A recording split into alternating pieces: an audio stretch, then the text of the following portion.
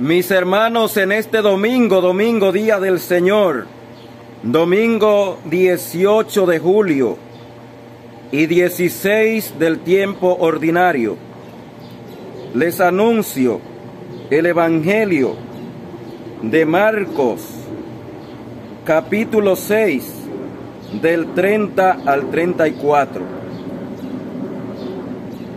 En aquel tiempo los apóstoles volvieron a reunirse con Jesús y le contaron todo lo que habían hecho y enseñado.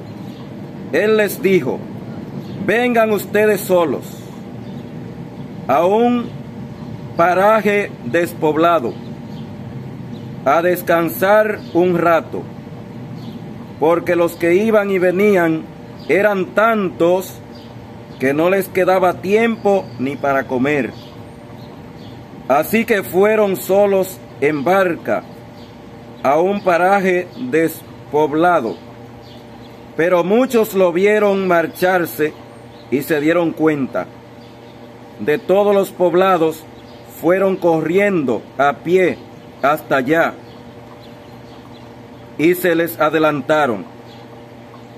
Al desembarcar vio un gran gentío y se compadeció porque eran como ovejas sin pastor, y se puso a enseñarles muchas cosas.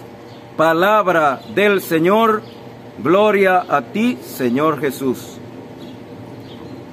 Mis hermanos, llama tanto la atención que la gente anda desconsolada, anda agobiada, anda cansada, de manera que no dejan a Jesús ni a sus discípulos descansar.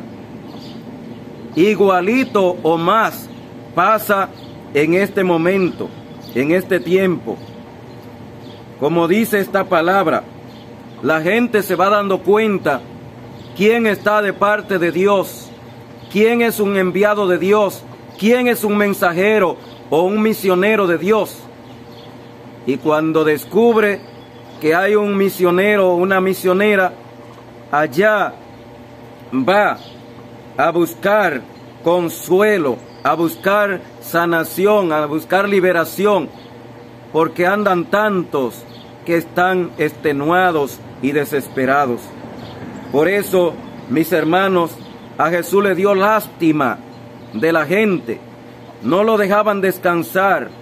El pastor lo primero que tiene que hacer es dejarse pastorear, es decir, dejarse guiar por el Espíritu Santo de Dios, para luego poder pastorear con la misericordia de Dios, para comprender y escuchar a todas las personas necesitadas de consuelo, necesitadas de una palabra. Así estamos llamados todos a ser buenos pastores el papá, la mamá con sus hijos, con su familia, llamado a ser buenos y santos pastores. En la comunidad, en la familia, hay hambre de Dios, hay necesidad de Dios. La gente tiene necesidad de Jesús.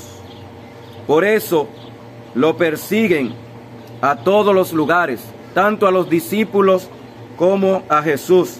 No lo dejaban descansar ni comer, porque necesitaban de Él, porque andaban vacíos y vacías.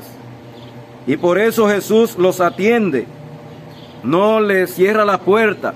Los pastores también, los papá y la mamá también, no le pueden cerrar la puerta a los hijos, siempre con la vara de la misericordia, del amor, del perdón, de la comprensión porque andan muchos incomprendidos, andan muchos que andan por la vida sin sentido.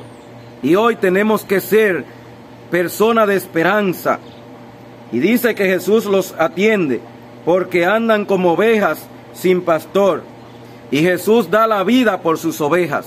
También tú y yo tenemos que dar la vida por los demás, por los más necesitados, por aquellos enfermos, por aquellos tristes, por aquello que se le ha quitado el deseo de vivir, por aquello que parece que la vida se le va, aquellos que parece que ya no aguantan más, porque están quizás con un agobio, con una preocupación, con una fuerza contraria, porque se sienten abatidos, porque se sienten eh, estancados. Pidamos la gracia y el poder de Dios para cada uno de los que estamos aquí en este momento. Que la gracia y el poder de Dios nos acompañe. Hermano y hermana, si no te has suscrito, te pido por favor que te suscriba en este momento, le active la campanita de las notificaciones y así nos ayuda a crecer como canal, como proyecto, liberar. Y comparte y dale me gusta para que así sigamos transmitiendo la fe y la esperanza.